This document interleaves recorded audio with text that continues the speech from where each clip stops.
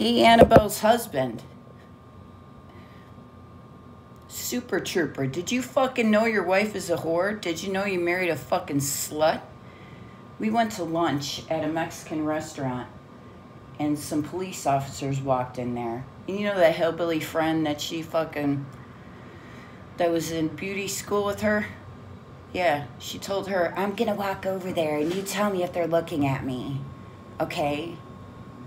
Tell me if they're look. Oh, I like that one. He's hot. Oh my God, look at him. I'm gonna walk over there. Okay, look. Tell me if they look. That is exactly what the fuck happened. She was married to you, motherfucker. You're a fool. You married a fucking whore. Is that baby even yours? Have you had a fucking paternity test? Annabel's husband? Have you? Super Trooper? You better get one. You better fucking call Maury because you married a fucking whore.